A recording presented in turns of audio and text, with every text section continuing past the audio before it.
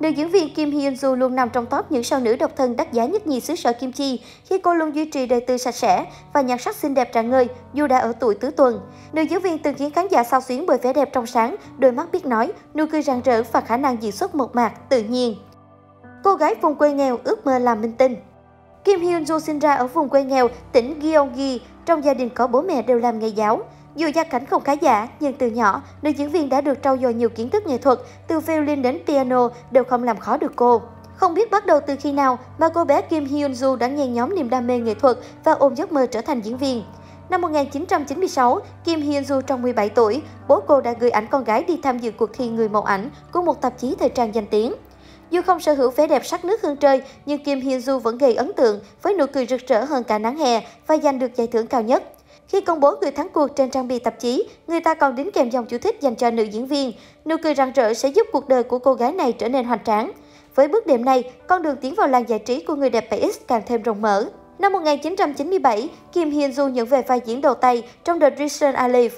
Dù chỉ đảm nhận vai diễn nhỏ xíu nhưng cô vẫn nhận được nhiều lời khen ngợi cho lối diễn tự nhiên, tinh tế.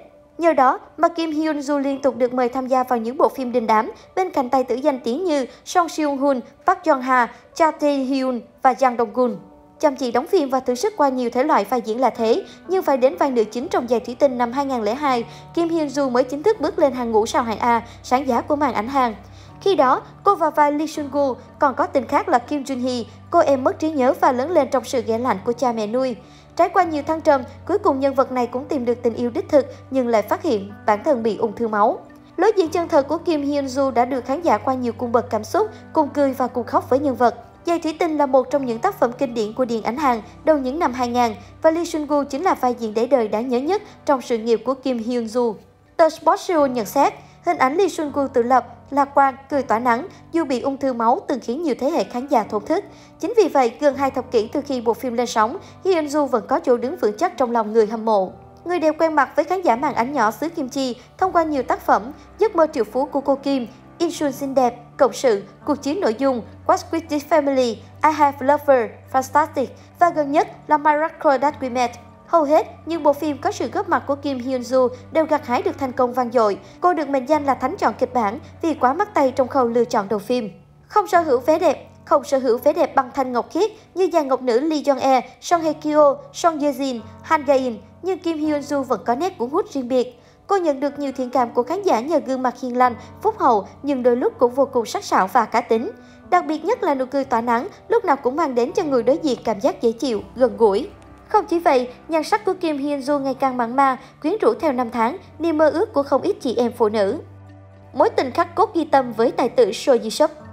Kim Hyun Joo là một trong những người đẹp nói không với scandal và kính tiếng nhất nhì showbiz Hàn.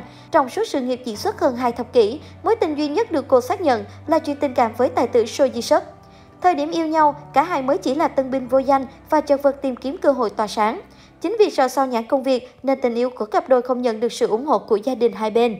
Sau đó, thời gian túc trực trên phim trường ngày càng nhiều, trong khi những buổi hẹn hò dần thưa thớt, khiến tình cảm của Seo Ji Suk và Kim Hyun Joo ngày càng phai nhạt. Họ đang nói lời chia tay với tình yêu của thời thanh xuân đẹp đẽ để tập trung phát triển sự nghiệp cá nhân. Khi được mời đóng giày thủy tinh, cả Seo Ji Suk và Kim Hyun Joo đều chưa nguôi ngoai nỗi đau chia ly. Song, cặp sao vẫn quyết định nhận lời tham gia vì quá yêu thích kịch bản.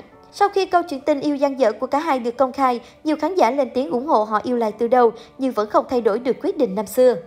Kể từ cuộc tình gian dở ấy, Kim Hyun Joo đến nay vẫn chưa công khai yêu thêm ai, trong khi Seo Ji Suk thì cũng đang hài lòng với cuộc sống độc thân vui tính.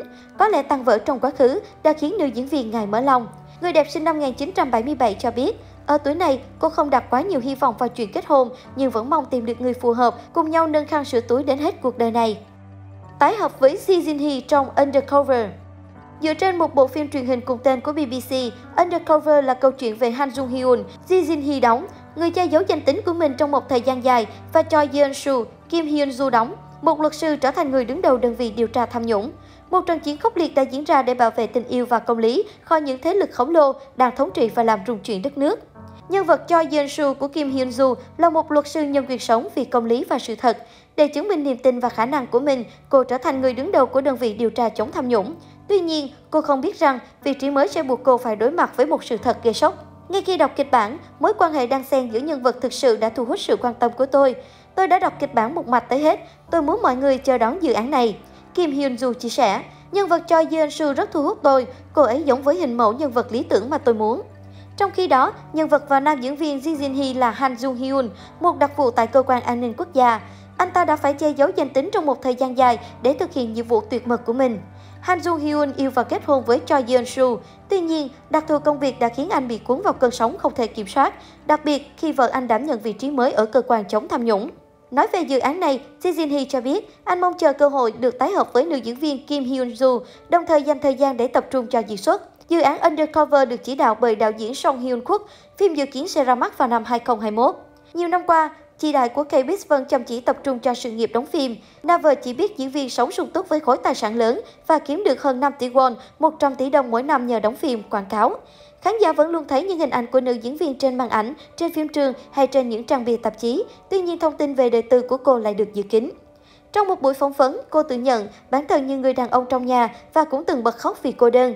Nếu như tình cũ và cũng là bạn diễn show Ji Suk trong giày thủy tinh đã yên bề gia thất bên bà xã kém 17 tuổi, Kim Hyun Joo vẫn sống cuộc sống độc thân đắt giá. Nói về mẫu người đàn ông lý tưởng, Kim Hyun Joo cho biết cô từng thích đàn ông có chiều cao lý tưởng trên 1m80, nhưng đó là chuyện của quá khứ. Hiện tại, cô chỉ mong người đó có thể đón nhận và hạnh phúc với con người hiện tại của cô.